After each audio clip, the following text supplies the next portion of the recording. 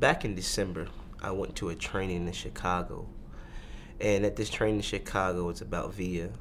And when I went to this training, I didn't know anything about VIA, what VIA stood for, what VIA was about, and really I didn't know why I was at this training. And I thought to myself, this is gonna be another social service type thing, another event that people gonna try to, try to sell you something and get you to follow them. When I took this survey, uh, when I first was looking at these questions, I was like, whoa, these are some strange questions. Like, what's the point of this? So I'm taking it, I'm taking it. Of course, it got lengthy, and I'm like, well, it took me about 10, 15 minutes to take the survey. So as I'm taking the survey, I'm thinking to myself, what's going to be the outcome of this?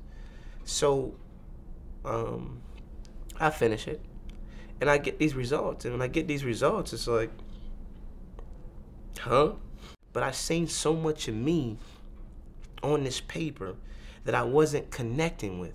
I seen so much of myself and things that I know that, that are in me, but it was so much more refreshing and, and, and so much more direction given to me when I looked at this paper and I was able to see that these are things that I can build on.